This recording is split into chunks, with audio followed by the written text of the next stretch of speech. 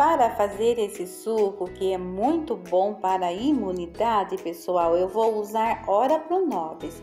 A Ora Pronobis, ela tem bastante proteína, tem vários tipos de minerais, entre o magnésio, fósforo, cálcio, ferro e as vitaminas A, B e C. Ora Pronobis é um anti-inflamatório, é muito bom para as dores e pode ser usado também, pessoal, de várias formas.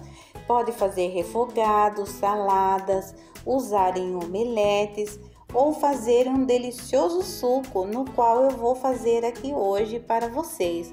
Esse suco eu faço quase todos os dias aqui em casa.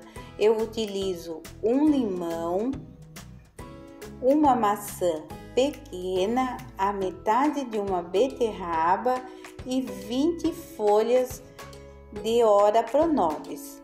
Se vocês quiserem substituir o limão pela laranja, pode também, fica gostoso do mesmo jeito.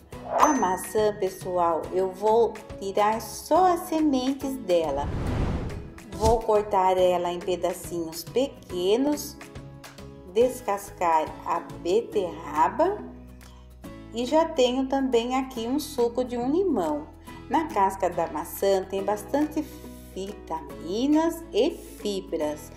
Vou colocar todos esses ingredientes aqui no copo do liquidificador e vou colocar também um copo de 250 ml de água. Vou deixar bater até ficar um suco bem bonito. Pessoal, os ingredientes desse suco eu vou deixar marcadinho tudo na descrição do vídeo para vocês. Eu não utilizo açúcar e nem costumo passar na peneira também. É um suco que fica muito gostoso e bom para a nossa saúde. Eu espero que vocês tenham gostado dessa receitinha e até a próxima. Tchau, pessoal!